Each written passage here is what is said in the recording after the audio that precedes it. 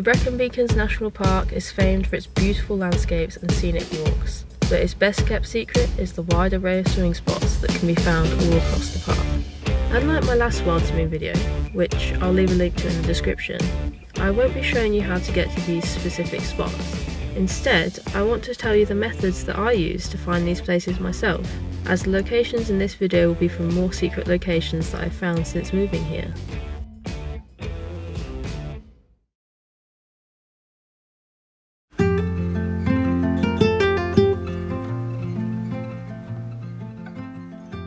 Firstly, anyone that knows me also knows that I love to bury my head into a paper map. I've found a number of locations using this method, as the Ordnance Survey maps in particular have little icons that read waterfall along the rivers that are far too tempting not to check out. I also own a variety of the Wild Guide guidebooks. I definitely recommend the Wild Guide Wales, as I have found many locations of interest, not just wild swimming spots, thanks to this book.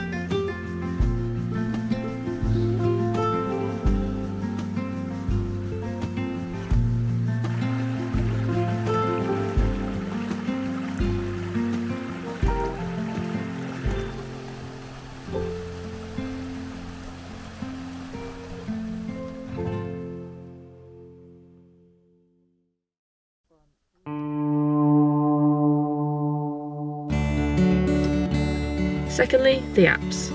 There are hundreds out there, but the two that I use the most are Google Maps, where you can use satellite images to scope around for wide sections of rivers, for example, and then I also use the AllTrails app, which you can use search parameters on to find waterfall or lake walks that have the potential to become swimming locations.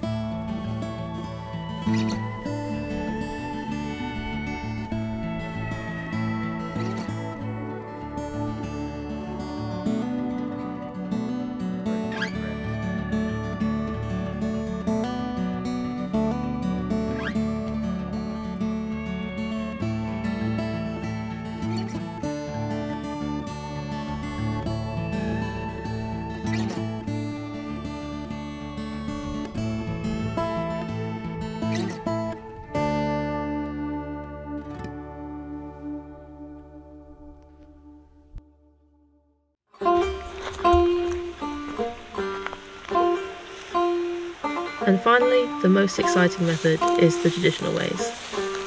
which is by either exploring an area yourself and stumbling across the perfect spot, or by speaking to a local and having them point you in the right direction.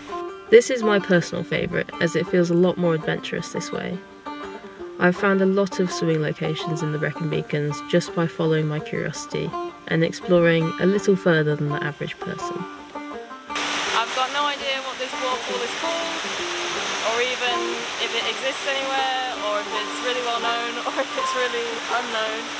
Uh, we just found it one day by accident, and now it's a little spot we'll come back to a couple of times.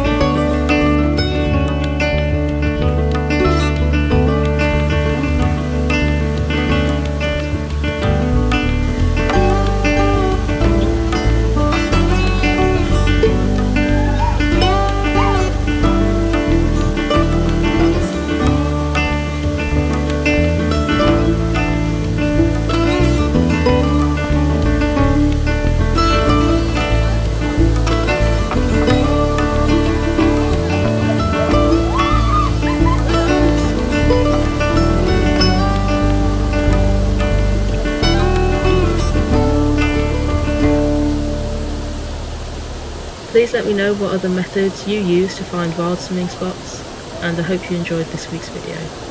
Thanks for watching.